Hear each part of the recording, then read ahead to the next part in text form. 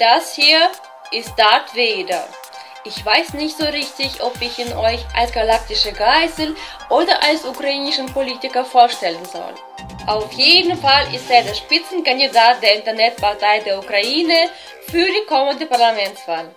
Und wir von Russland TV halten die IPU für eine der interessantesten Alternativen, die sich dort auf dem Wahlzettel finden. Beim Wahlkampf setzt Reda, wie bei seinen früheren Kampagnen, vor allem auf das Umarmen von ukrainischen Denkmälern. Bei der Bürgermeisterwahl von Odessa reichte das, um ihm 4% der Wählerstimmen zu holen. 1% mehr für seine Partei bei der Parlamentswahl und die Internetpartei wurde im Kiewer Abgeordnetenhaus sitzen.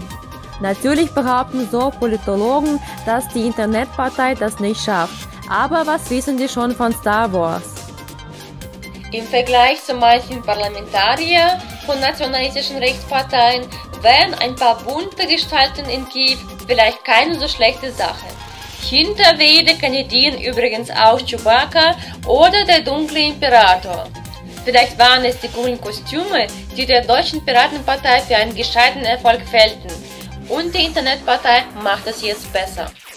Für die Wähler enthüllt Wede sogar, was sich unter seiner Maske verbirgt.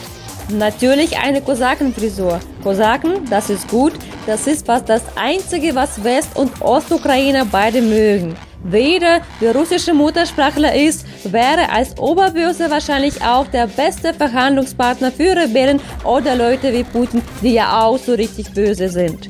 Mit Weder an der Spitze und seinen Sturmtruppen dahinter ist der Donbass wahrscheinlich besser zu halten als mit der Nationalgarde.